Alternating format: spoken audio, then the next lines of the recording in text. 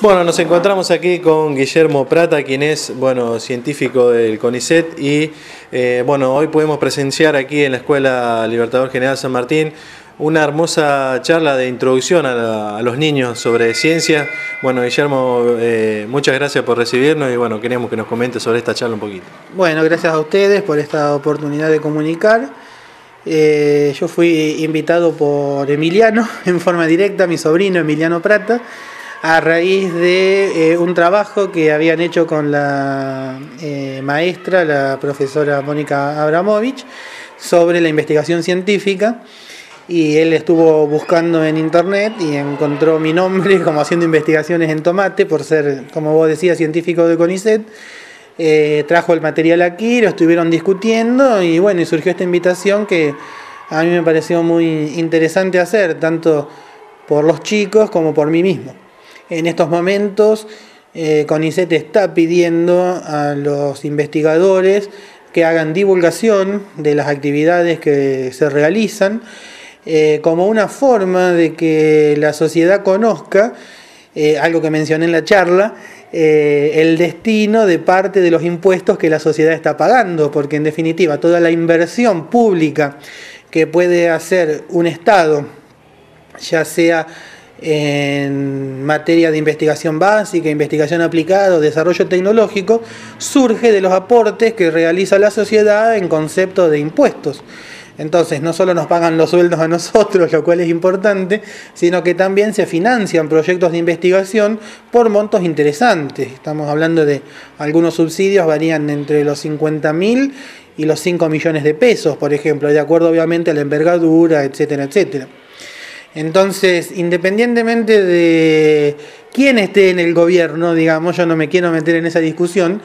pero es importante que la sociedad eh, reclame y apoye eh, toda la, inversión que el Estado puede hacer en materia de este tipo. No hay independencia socioeconómica de un país si no hay investigación de base realizada en ese país. Porque si no dependemos de las investigaciones que se hacen en otros países, y no estamos hablando de Estados Unidos, países europeos Australia, países como Brasil, países como Chile, países como México, invierten mucho en investigación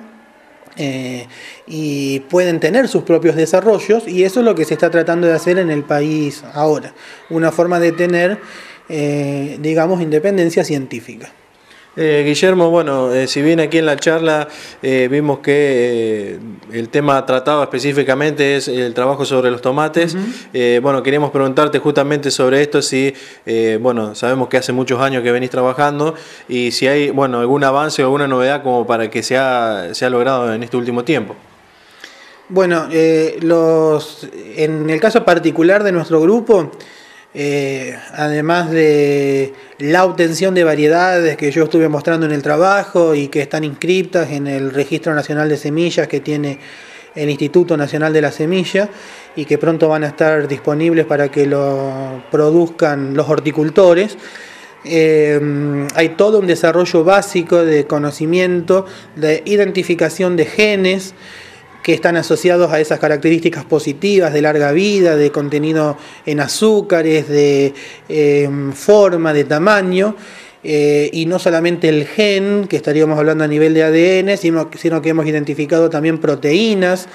o sea, el producto directo de los genes que están involucrados en eh, estas vías metabólicas, o sea, estas reacciones químicas que ocurren dentro de un ser vivo, en este caso el tomate, y que eh, dan origen a estas características de calidad. Entonces, eh, eso contribuye a un avance en cuanto a que los genes que nosotros identificamos pueden ser incorporados en otras variedades de tomate, no logradas por nosotros, sino por cualquier otro grupo de investigación público o privado, vía cruzamientos, como explicaba yo en la charla, o pueden ser eh, incluidas en otras especies, estamos hablando de durazno, estamos hablando de uva, vía las técnicas de ingeniería genética. Mm, previamente hay que hacer un trabajo más fino de identificación, clonación y caracterización del gen, pero una vez que uno tiene eh, un gen descubierto, está disponible con las técnicas de transgénesis hoy en día para incorporar en cualquier especie vegetal. Se han pasado, por ejemplo, genes de em, bueno, todos lo sabemos, de bacterias a la soja o de insectos, eh, bueno, de insectos al tomate que le dan resistencia al frío, por ejemplo, en el caso de tomate, o a herbicidas o a insectos en el caso de la soja. Y esos genes se obtuvieron de bacterias y fueron pasados a los vegetales por técnicas de transgénesis, ingeniería genética. Eh, Guillermo, por supuesto, desde ya eh, es un tema realmente amplio para charlar horas y horas, pero bueno, sabemos que, estás con el tiempo justo, así que desde ya te agradecemos tu tiempo y bueno, estamos a disposición para cuando lo necesites. ¿eh? Bueno, gracias a ustedes por, esta charla y cualquier cosa, este, le dejé el mail a, a los chicos y bueno, si alguien quiere comunicarse, lo puede hacer